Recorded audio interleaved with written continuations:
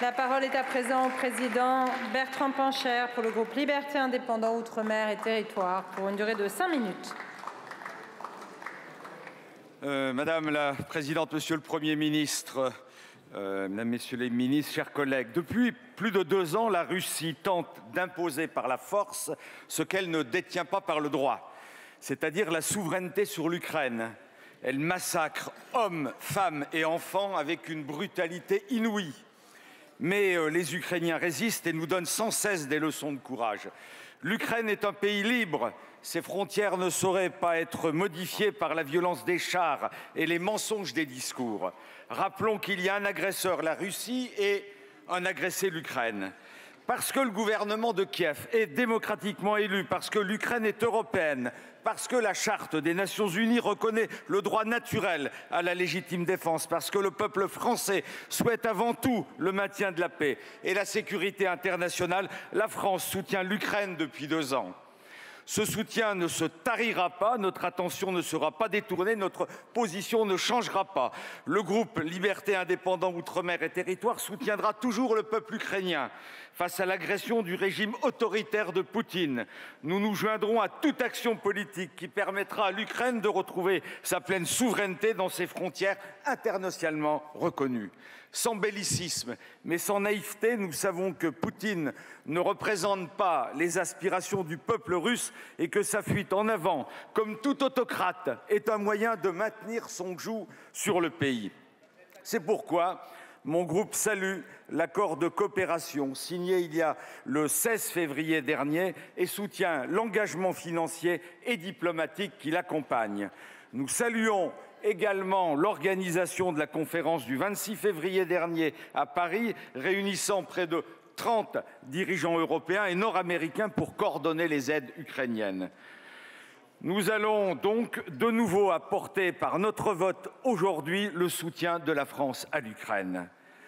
Face à la menace qui pèse sur les libertés en Europe et sur la remise en cause de l'ordre international, nous considérons en âme et conscience que ce n'est pas le moment d'afficher ici de quelconque divergence ou de donner le spectacle d'une rare hypocrisie sur certains bancs de cet hémicycle clamant la bouche en cœur Nous aimons tous l'Ukraine, mais nous ne voulons pas l'aider à la défendre. Il serait euh, fallacieux d'interpréter notre vote autrement en soulignant que le président de la République aura tout de même tardé à assumer sa fermeté après avoir tenté jusqu'au bout de négocier avec Poutine, parfois même à la limite de l'humiliation.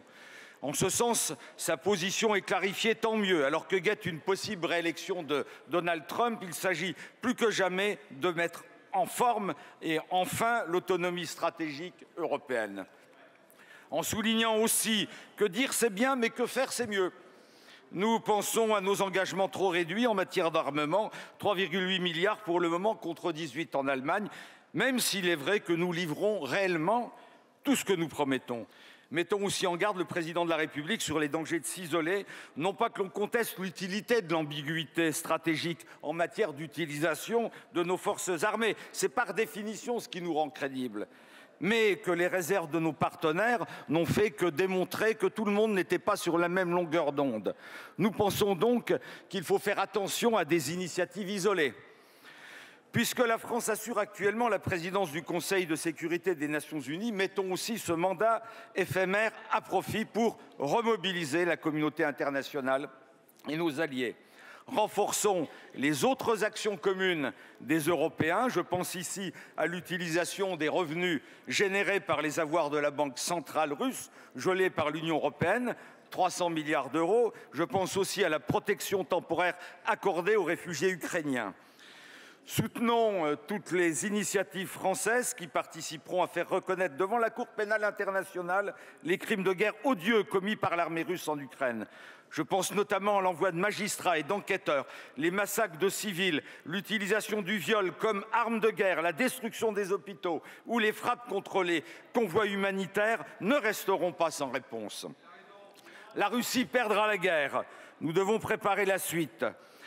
Mais euh, ne nous leurrons pas, Poutine a commencé ses basses œuvres en Tchétchénie, en Géorgie, en Jordanie, en Crimée, puis dans le Donbass Il menace nos intérêts en Outre-mer et en Afrique. Il est à l'origine des cyberattaques dont nous sommes victimes. Si nous ne l'arrêtons pas, il continuera. Après l'Ukraine, il dépaissera la Moldavie et s'attaquera aux pays baltes et à ceux qui s'interrogent encore sur la nécessité ou non de nous mobiliser totalement pour l'Ukraine, qu'ils relisent tous les enseignements de l'histoire.